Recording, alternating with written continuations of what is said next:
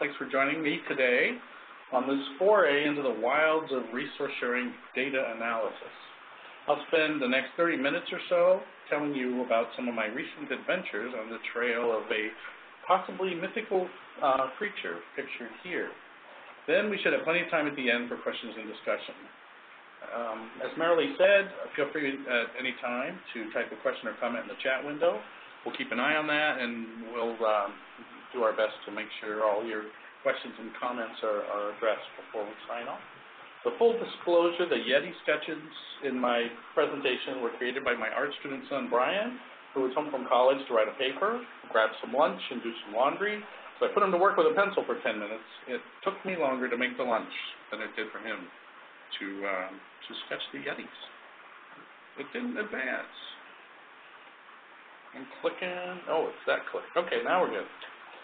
Here's some of uh, an idea of what to expect from me today. First, we'll go over the concept of the ILL Yeti.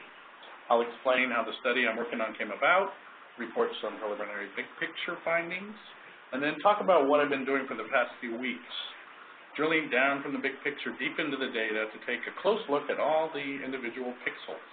I do indeed know how to spell pixels, but the phrase going pixel, of course, put me in mind of going postal, and, well, you, kind of see where things went from there. But I'll end up by talking about what remains to be gleaned from the data in my possession, and then, as promised, we can have some back and forth about the wacky world of collection sharing, the many numbers produced therein, and what we might hope to learn from them.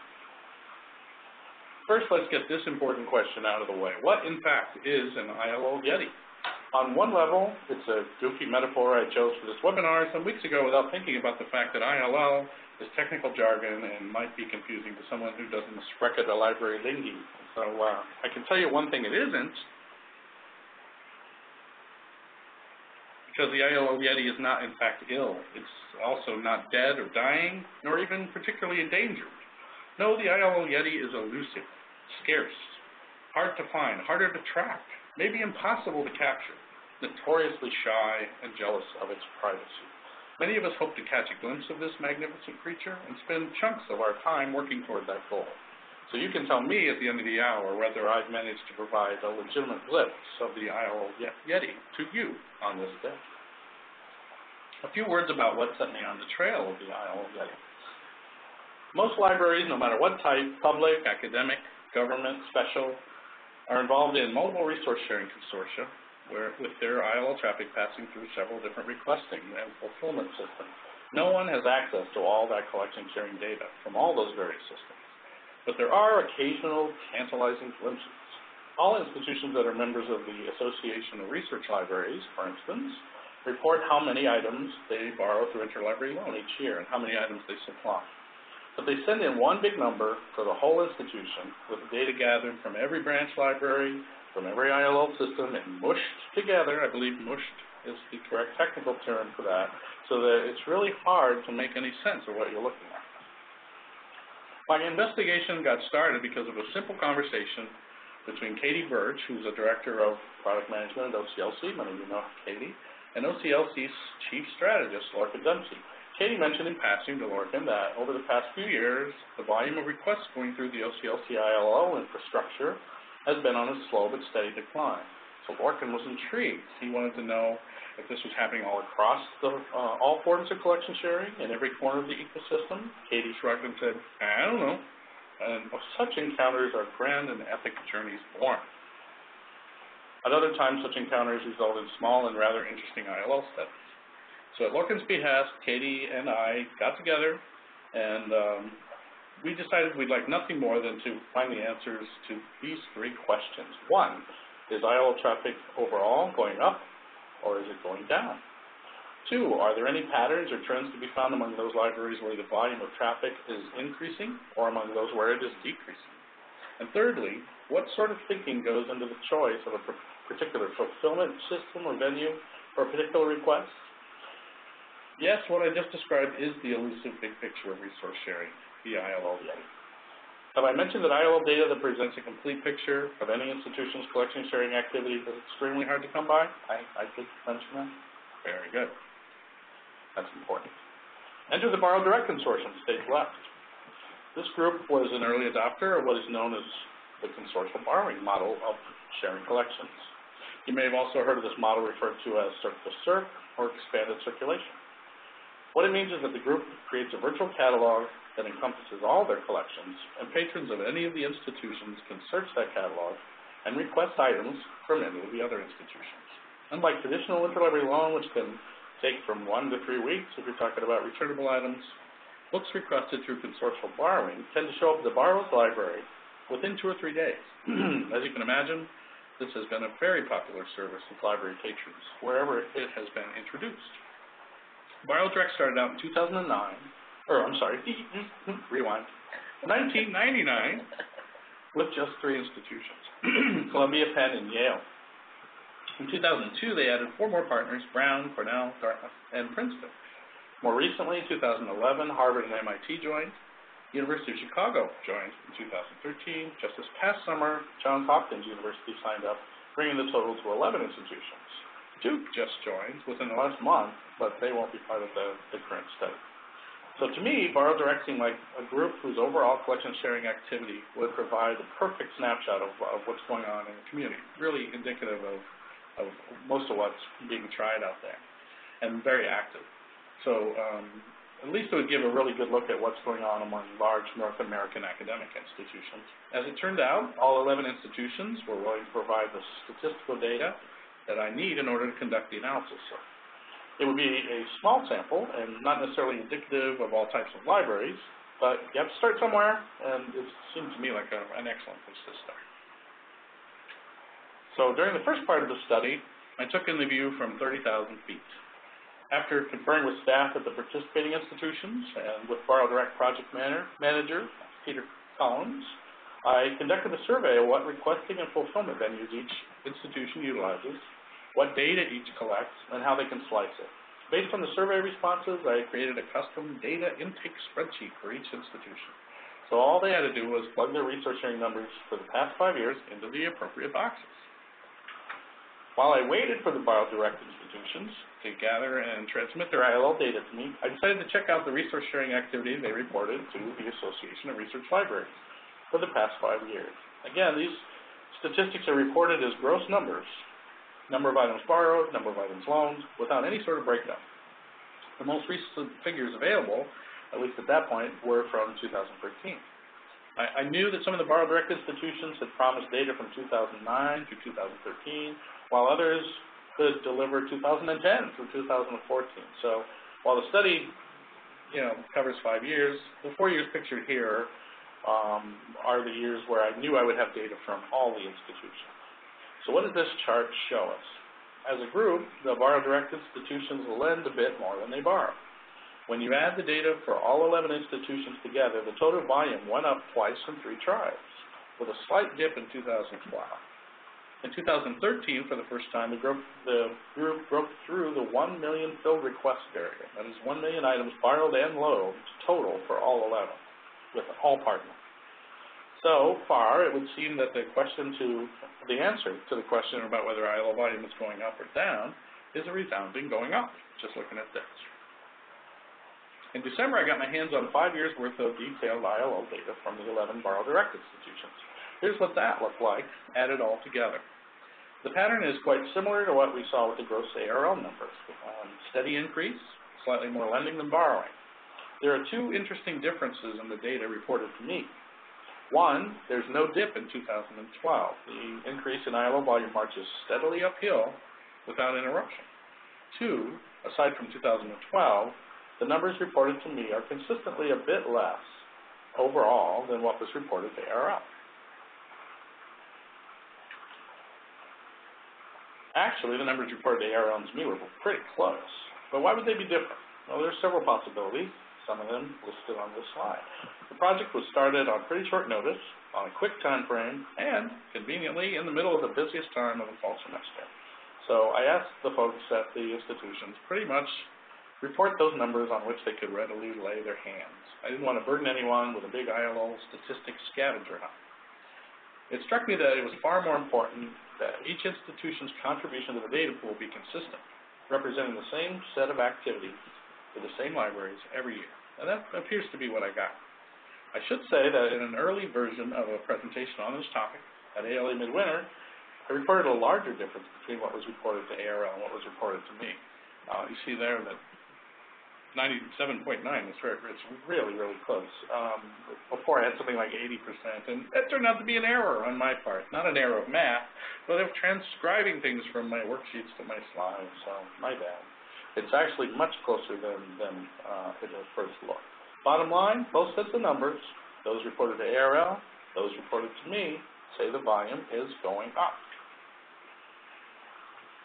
Still at 30,000 feet, I was eager to see what the numbers would look like when broken down by each of the requesting and fulfillment methods being used by the 11 institutions. Natural place to start was the Borrow Direct consortial borrowing transactions among the members of the group. One thing to remember is that the Borrow Direct group added new members during the time depicted here.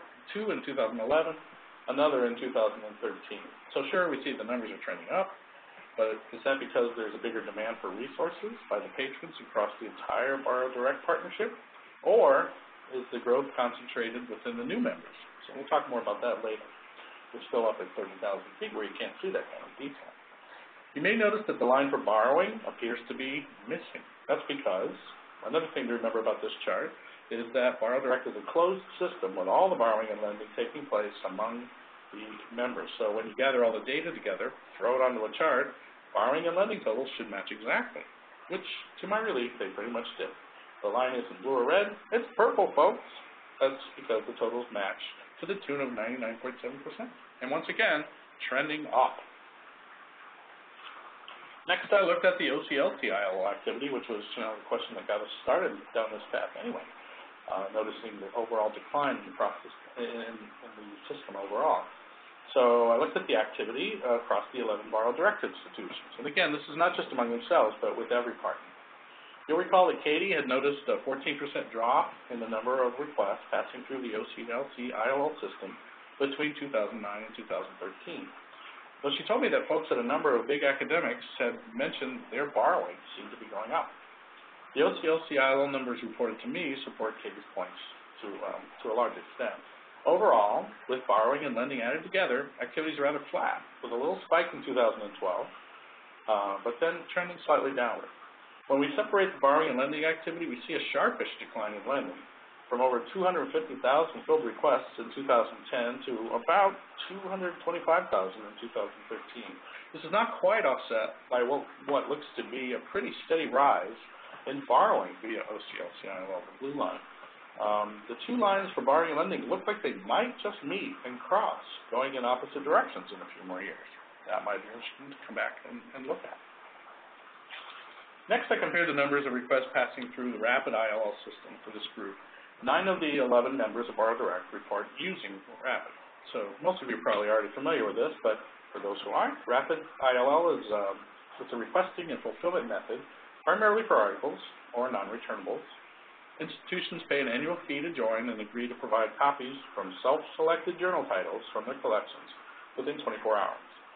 Their holdings records are standardized so that the system will route requests only to those institutions that actually have the issue. It effectively automates the vast majority of routine copy requests, and the speed and fill rate truly, truly impressive. It should be noted that Rapid ILL has recently added the functionality needed to request and deliver books. So it will be interesting to see if that does anything to reverse the pretty clear downward trend indicated here. Because after peaking in 2011, both borrowing and lending have been going down for the members of the Borrow directory. Again, this does not necessarily reflect the experiences of any other group of libraries, but among these 11, there's a clear downturn, especially in lending. One wonders if maybe the proliferation of e-journals and increased availability of scholarly articles and full text online is having an effect here. That's one of the things we hope to find out as we dig deeper. Finally, um, the last system to look at separately, uh, DocLine is an ILL system created and maintained by the National Library of Medicine. Like Rapid ILL, it is used primarily for articles, so a few book requests do go through DocLine. Only five of the 11 Borrow Direct institutions reporting using uh, reported using DocLine.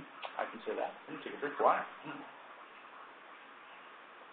Borrowing is on a steady decline for those five, with lending in decline after peaking in 2011. So ILL uh, via OCLC, the Rapid ILL, and DocLine, all forms of what one might think of as traditional ILL, and all trending down. Only consortial borrowing, which is a fairly new model that essentially expands the traditional circulation function across multiple institutions, is trending up as a requesting and fulfillment venue among this group. So overall, collection share activity is trending up, but now with an asterisk. This chart shows what part of the whole each requesting and fulfillment venue represents for the group overall, and compares the earliest year for which I have data from everyone with the most recent year. So the first thing that jumps out is that borrow direct is growing in roughly the same proportion in which OCLC is shrinking. And whether that's a direct cause and effect, don't have any idea yet, but that's one of the questions to um, be analyzed in detail later. There may be other reasons. Um, Rapid ILL and DocLine also take up smaller pieces of the pie in 2013, with other, in the red, holding steady. Note that other includes consortial borrowing systems besides Borrow Direct. I'll have more to say about that later. This chart is an attempt to capture year-to-year -year trends overall and for each of the requesting and fulfillment venues, as well as whether, as a group, the Borrow Direct libraries were a net lender or a net borrower within a particular venue in a given year. Light blue means net lender, gold means net borrower, green stands for breaking even. Remember, the Borrow Direct venue is a closed system where all the borrowing and lending is done by the 11 participants. I put dark blue outlines around the arrows that are trending down, only to make it easier for your eye to see the difference between the ups and downs of the same color. 2010 has arrows pointing sideways uh, because I don't have complete data for 2009 and thus can't determine if the numbers for 2010 are trending up or down. The chart reinforces some of the things we've already noted from our perch at 30,000 feet. The Borrow Direct group lends more than it borrows in nearly every venue every year. Overall, and Borrow Direct numbers are trending up. Many of the numbers for the more traditional models of are trending down. Note the changes in 2012 and 2013 in the other category. The group has become a net borrower, and the numbers are trending up. More about that in a second. I know, lots of charts and graphs. Don't worry, we'll have some more Yetis soon. This chart compares the numbers for the three most popular requesting and fulfillment venues used by the 11 Borrow Direct institutions across the four years for which I have data from everyone. Here you can see the trends and proportions very clearly. OCLC in red, holding pretty steady, slight downturn in 2013. Rapid ILL in green, peaking, then declining. Borrow Direct in blue, growing steadily, finally overtaking OCLC ILL as the most popular and prolific method in the most recent year, 2013. But remember back a few slides ago, two pie charts where a little red slice of other are presented, among other things, additional consortial borrowing systems besides Borrow Direct, and remember the recent changes in the other category on the chart with all the arrows. Four of the 11 Borrow Direct institutions participate in multiple consortial borrowing systems. Two of them have joined other consortial borrowing arrangements since 2012. This other traffic is becoming something of a big deal within this group. If we change our slide to include a bar that combines Borrow Direct numbers with all the other Circ-to-Circ traffic attributable to this group of 11 institutions, Note, uh, I hope it's the same color for you. It's magenta for me. It's, uh, it's the new bar on the chart. We see that Circ-to-Circ, or consortial borrowing, is growing even faster than we thought. It overtakes OCLC-ILL a year earlier than Borrow Direct by itself. And by 2013, the volume of consortial borrowing traffic for these 11 institutions towers over all the other methods, breaking the half million filled request threshold. Interesting.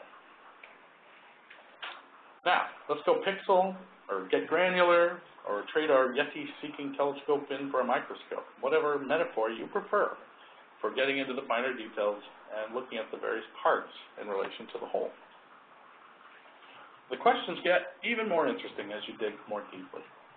For instance, here's an example of a real under-the-hood type of question. We mentioned it before briefly. We, I'm speaking with the royal we. Don't know what happened there. Sorry, I'll, I'll, I'll chip her down. Is the growth overall uh, in overall borrow direct activity um, happening across all 11 members, or is it mostly a product of introducing more partners into the mix? To address that question, I broke the overall numbers for all three, I'm sorry, I, I broke the overall numbers for all collection activity into three groups. uh, the three original Borrow Direct founders from 1999, the four institutions that joined in 2002, and the four new members who have come on board since 2011. So here we see the overall activity for the original three Borrow Direct members, growing slightly, then flattening over the last couple of years.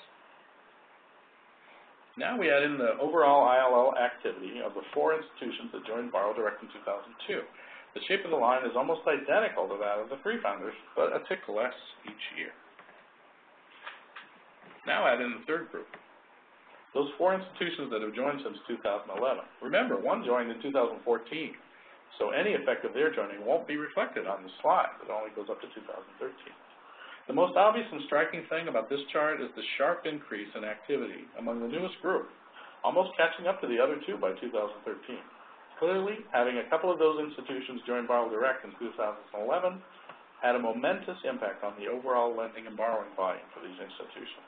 This chart would seem to suggest that the growth in overall activity is limited mostly to the new members, and consortial borrowing accounts for most, if not all of it.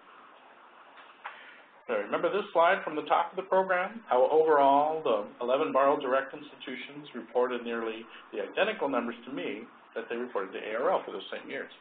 One of the effects of drilling down into the data is to reveal that in spite of the apparent match with the numbers previously reported, there is a great deal of diversity to be found by examining each institution's numbers in turn. For instance, this scatter chart shows just how much the responses diverged from each other. The first thing you'll notice, if it is near lunchtime where you are, is that this appears to be a chart about pizza by the pie, pizza by the slice, and perhaps the side order of those little Swedish meatballs like you get at IKEA. That effect was unintentional, had nothing to do with luring hungry ILL Yetis to the table. Now this chart actually shows what percentage of their ARL reported borrowing and lending numbers were reported to me by each institution. Within the red circle are five institutions whose responses were very close to what they reported to ARL, including one that aced the exercise, 100 by 100. The green circle contains two more institutions that weren't all that far off from what they reported to ARL. The blue triangle contains three institutions that reported significantly higher numbers to me than they did to ARL. This was unexpected and it bears some looking into. And finally, in the middle of the big rectangle is a single institution that reported considerably less than what was reported to ARL. This was not unexpected, but rather a conscious decision by staff at that institution to report only the activities of main library, not the many branches, which would have been too tall of an order for the short data gathering window that we had to work with. The takeaway from this slide is simply that there's more complexity hidden within the numbers than you might have first imagined, and I need to spend some time investigating the variances to make sure they don't undermine any of the conclusions that the data seems to suggest. Here's another way to look at the, the data about which institutions reported what percentage of their previously reported ARL figures. I've broken the reporting percentages into the same three groups we used to look at overall resource sharing activity a few slides ago the three original founding members of the Borrow Direct Consortium, the four institutions that joined in 2002, and the four new ones that have come on board since 2011. When looked at through this prism, the only variance that really sticks out is the percentage reported in 2012 by the three original founding members. This suggests that a closer look at that data behind those numbers would uh, would be worth the effort. And if you re may recall, where the the pattern uh, shown in the ARL numbers overall where, where the pattern was broken with the numbers reported to me was that there was no dip in 2012. So could this be pointing toward why that happened? I don't know. That, that, that just will take some more look coming up. Uh, but that will be some of the more fascinating things that happen later is trying to determine the, the cause and effect of some of the things we're seeing. I'll also be querying all the participants with various types of questions that arise as I look through the individual sets of data, besides uh, pointing out things like this that stick out a little bit. So more about that in a minute. Okay. No doubt you remember this chart with all the pretty arrows. Breaking this report into three groups was another way to reveal some stark differences lying just beneath the surface of this seemingly homogeneous set of resource sharing partners. First, I'm going to click through them really quickly to show you how they change. Then we'll come back and look at the results for each group in more detail. So, okay, this is the overall chart that you saw before. That is breaking it into the three founding members, the ones who joined first. It's changed quite a lot, huh? That's the three middle, the, the four who joined in the middle in 2002, And finally, the, the new institutions. So that's a lot of change. Going to go back and walk through them uh, in, in some more detail. So here we, we're back again with uh, those charts showing all 11 institutions. Um, their net lenders, overall numbers, borrow direct numbers, trending up. By 2012, most of the more traditional methods of resource sharing trending down. This represents the same snapshot for the just the three original founding members of the Borrow Direct Consortium.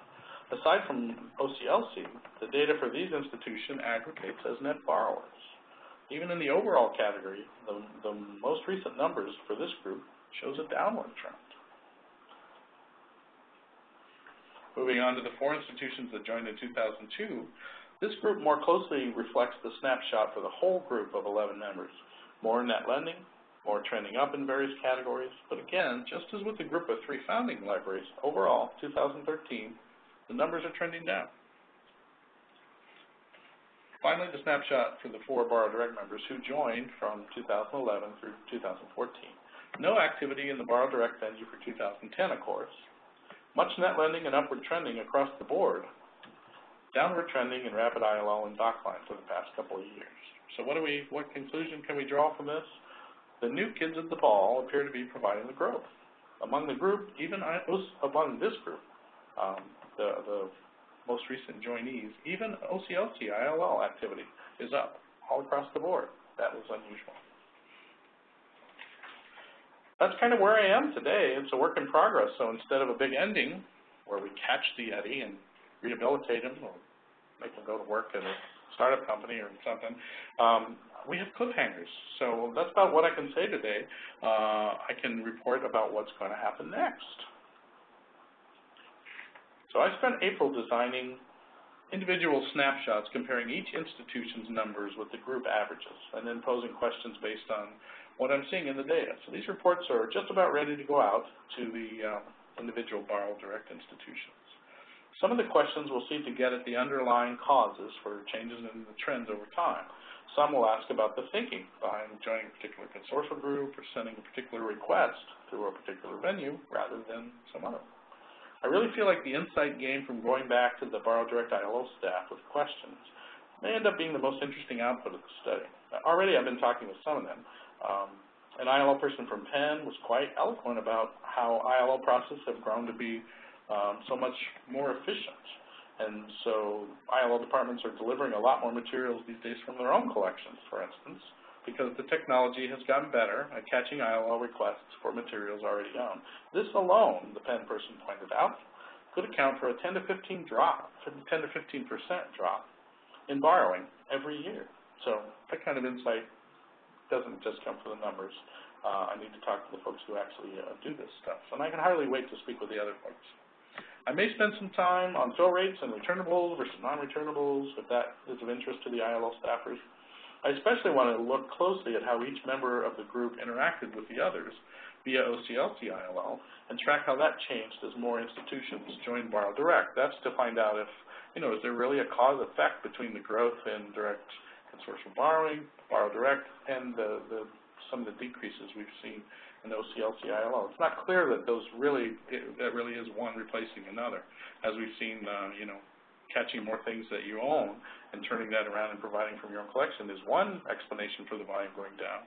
It's possible that the direct consortium borrowing stuff could be creating a new class of users who are using the, the system for different reasons than ILL miners. So that's some of the stuff I hope to uh, learn more about as I talk to the ILL folks and um, take a closer look at the numbers.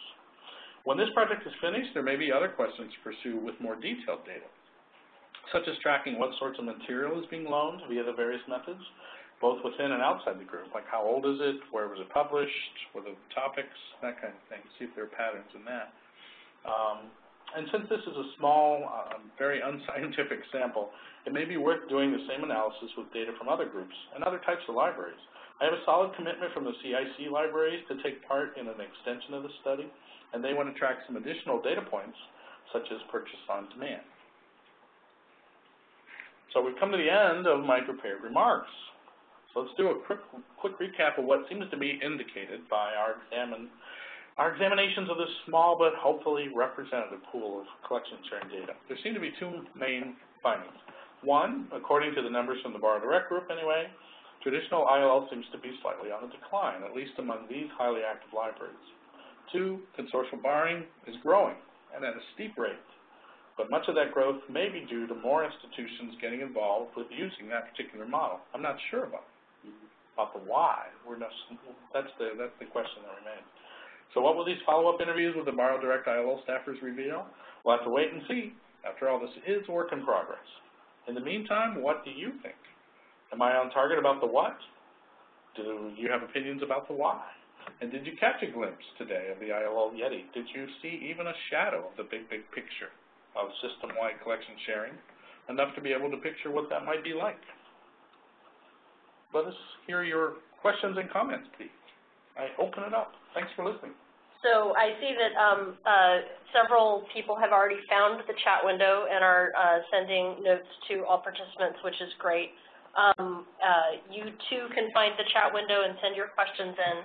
So first of all, there's an overall, there was a, a question which was answered um, in chat, which is, is Borrow Direct for both loans and articles or just loans? And uh, clarification from one of our participants that that Borrow Direct is only returnables at this point and only and just loans. So that's good to know.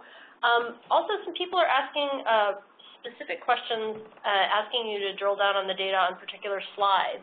And you can use the little drop-down Yeah, thing to, right here, the drop-down guy, and How you can cool go directly to slide 28. How useful that I know. Cool. All right. I was trying to do that. So um, the question on slide 28 Cool. All right. is, if the newbies didn't join Borrow Direct until 2011, why is there data on slide 28 for them in 2010, the blue bar? All right. Um, the I probably should have reinforced the idea that this data was overall collection sharing activity by each of the institutions.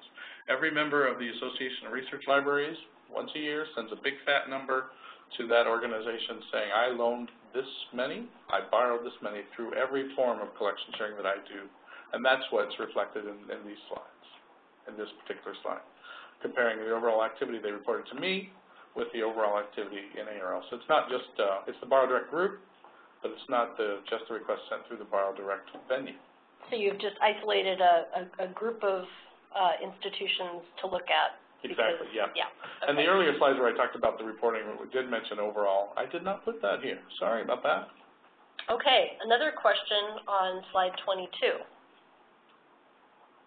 So if you go 22. slide 22, Working on that. That's the pull down. I could just type it in too, huh? I think so. Awesome. Hit enter.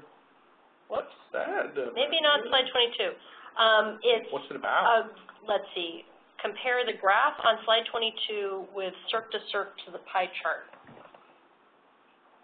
Sure, okay, well, let's see. No idea where I'm going here. Um, whoever asked that question maybe might want to say more. Let's see. So that's twenty-one. Oh, circ to circ on the pie chart. So, uh, assuming I'm on the right slide, which is twenty-one, this is the thing where it uh, shows the various venues that are most popular among this group. Borrow Direct has its own bar. Um, OCLC does in Rapid. And I've added a bar that takes the portion of the other in the pie charts, which we'll look at in a second, that was consortial borrowing. Not everything in other was, so it's also web forms and ALA forms and emails and that kind of thing. But a chunk of it was consortial borrowing. So I took that portion of what other was consortial borrowing and put it on top of Borrow Direct, added it to it, and made a new bar reflecting all the circ-to-circ transactions. And that's what this is. So you see that that's growing very fast and dominates. It's, it's the most popular by 2012, dominates by 2013. Now I need to remember where the pie chart is, I have to figure out where that is. It seems like it was a while ago. Backing up. Here, there it is. So, assuming I'm comparing the right things, the blue is Borrow Direct, and the red is other but it uh, includes more than just the, the other circ. I think I mentioned that um, of the 11 Borrow Direct institutions, four of them uh, are in multiple, um, multiple uh, consortial borrowing things. There's, uh, one of them is, is part of one that also the CIC has. Uh, one of them is run by the state of Pennsylvania. There's one by the state of Rhode Island. So there, and the amount of traffic in those varies uh, a lot. And just those four institutions, they're busy enough that it really had an impact on the overall numbers. I think I've babbled about that probably Okay, and she says that that, that does answer your question. So there was another uh, comment, um, which is, have you run statistical regressions? I'm concerned that the trends you're seeing are frequently not statistically significant. Hmm. I have not, no, this is just literally, um, first passes at, at this data. I have not done that. But I, but I will. This is just really one dip into the thing, here's kind of what I'm seeing. And, uh, I I still, even though I've had it for several months now, it still feels like early days on the actual analysis. Okay, here's a, here's a question that went um, to, not to all participants, um, uh, and which I think was an error. It sounds daunting, but will it be possible to analyze your data with any significant changes in each institution? So, uh, changes in enrollment, new department program added, collection profile or development policy changed, et cetera. And I think that that's uh, what you're hoping to get into when you talk to individual um, uh, people about why there might be changes at their institutions. Absolutely, that's, that's a big part of it, is trying to match up what we're seeing with different events, uh, both events within the OCL, or within the Interlibrary Loan Office, getting new equipment, staffing things, and also across, uh, across the institution, enrollment things. Uh, enrollment level is definitely one of the things that we're looking at, or offering new, uh, new degrees, that kind, that kind of stuff. Yeah, definitely. Here's another question along the same lines. Any information of trends, correlations of ILL usage when libraries deaccession collections and or increase uh, ebooks and e-journals? Sorry, I missed a little of that. Uh, Okay, I'm finding it. So, so changes in uh, the profile of collections. Not, nope, not yet. Again, this was just, um, it started out with a very simple idea. We can't, we, we don't have these numbers, no one collects them, let's get them. And, and we've done that, and now this is the first look. So those are, um, those are more sophisticated questions that we haven't looked at yet. And in this round, probably don't have the data for. Uh, but perhaps could come out in conversations with your, with your um, uh, colleagues at institutions. Absolutely. Yeah. I'm not seeing any uh, further questions at this point. Um, I'm going to pause here for a second. And I want to invite people, I mean, if you have other things, both, I mean, some of those things you've suggested, most of them we've at least thought of in our internal conversations, but not all of them. If you think of other things you'd like to see us look into or add to this, or if you'd like to uh, suggest other ways of, of uh, ways the data could have been sliced or visualized that I didn't do, I'm certainly uh, eager to hear any of that stuff. So I'm putting um, Dennis's email address in there so that you can uh, copy and paste it. If you've got questions, please contact him uh, directly. Here's a more um, general question. Do borrow direct requests go to the library or directly to the user? You meaning, meaning the, the, the items as they're being Yes. delivered? They, they delivered to the library as far as I know, in Borrow Direct and in most of the folks who use that model. But definitely with Borrow Direct, it's, uh, they show up at the library. So not as direct as could be. Well, actually, you know, consortium borrowing means that, you know, they share a virtual catalog. Direct means it actually, that's, that refers to being able to tie into the search system and update no statuses and things like that. Some do consortium borrowing without tying into the search system. So direct just means that. Yeah, and uh, people have shared the Borrow Direct um, uh, URL. We'll, we'll send that out to participants. Um, I'm not seeing any other questions. Uh, so, with that, oh, here we go. Uh, to me, one is comparing apples with oranges when comparing articles, Rapid DocLine, without um, without books, Borrow Direct, and it gets murkier when you add in OCLC. So definitely these are different um, Oh, they, yeah, things. no one's saying the, the same things, it was just, we were asking folks, what are all the different ways that you share collections within each of those venues? What do the numbers look like, what are the trends over five years? So, yeah, uh, agreed, they're very different, and it's hard to even characterize them. Even, I even felt a little, uh, strange characterizing Rapid as traditional ILL, because it's not. When Rapid came, it was, it was revolutionary, it changed, uh, I mean, it, it was a whole new approach that worked really well, and better than anything that was there before it. So, it is, it is very much apples and oranges, but our, our idea was just trying to get a glimpse of how much things are moving around from library to library and, uh, how they're being carried back and forth, and whether it's going up or down. So here's um, uh, another another question. So to be sure of the research I've seen here, when you refer to the traditional OCLC borrowing lending in comparison with the Borrow Direct requests, you are only counting the activities among the Borrow Direct institutions, or all libraries and institutions using CLC. Sorry, I was, I was looking at something else, you said, let me read that over.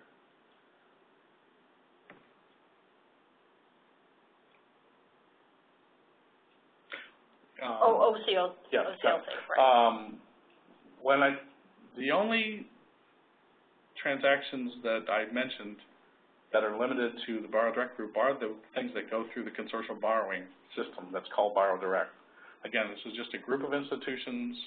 Um, they have, I picked them and they picked me because they are a group that already exists. They, they collaborate with each other. All the other data was, was the extent of their collection sharing with all partners. So that's why you know, I kept saying overall, and that might not have been the best way to describe it. Um, the only thing limited to the group was the actual consortial borrowing, borrow direct things. Everything else was everything done with all partners everywhere. So, but the original question that got you started was looking at what was happening within OCLC overall. Well, that's what, yeah, that's what Katie and Lorcan were talking about. They wondered, what's, what's going on out in the world? And really, that's gotten, because there are so many systems in play, uh, other countries are using even other systems. There are national systems. There are state systems that I didn't even talk about. There are all kinds of public library consortia out there. Uh, it's, you, just to get an idea of everything that's going through every system, I don't know of a way to do that right now. This is an attempt to just take a snapshot and see if we can, again, I've said, well, I'll say it one more time, not very scientific, it's just trying to get an indication which way the arrow's pointing. So it will point us toward things that will be, can be studied in more depth with better data that will be more scientific, I hope. This was just a starter. So just when I thought we were finishing up, we're getting some more questions. Um, so the Born Digital, or sorry, Born Digital, Hmm? I, my mind is in another place. The Borrow Direct group includes some of the biggest of the research libraries, um, and that's true for CIC as well. If you're trying to study ILL more collectively, wouldn't it make sense to study a less uniform group? So the OCLC research on how collections are similar or diverse implies that there are lots of libraries sharing the long tail of collections. How much ILL is related to this long tail of less widely held material? Fascinating question, and I would love to pursue that. Um, yeah, I had to start, again, I think I even said these exact words, I had to start somewhere. This was a place I could start. Some of this is about, you know, they say politics is the art of the possible. Well, some of the research is, what can I get my hands on? If I could get my hands on this other data, yes. And, Exactly. and, and we can, we may be able to, and that's a, your question, what you, what you've asked there is fascinating. I would love to, to track that, and we may.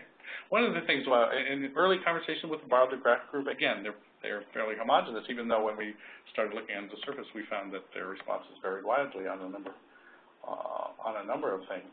Um, some of them were more eager to do this than others. Some of them didn't even, you know, weren't even sure, do I want to give my ILL data? And we were hoping that if it went well and they were interested in what we, they saw, that folks will be willing to drill further down and really look at collection data and, you know, funding and, and stuff like that. So, um, your point is well taken, though, that looking at different kind of libraries would, uh, and, and groups that interact that are different from each other, uh, would be very useful. Okay, once again, I'm not seeing any more questions, so I'm going to go ahead and wrap it up and thank uh, Dennis for uh, his presentation. Thanks you all for all of your great questions. Thanks to uh, the Borrow Direct folks for sharing the data, which really makes this all possible. Um, we really appreciate your attendance and participation in this webinar, and we will post a recording of this webinar online and notify you by email when that is available. we hope that you'll share it with your friends and, uh, continue to engage with us and ask great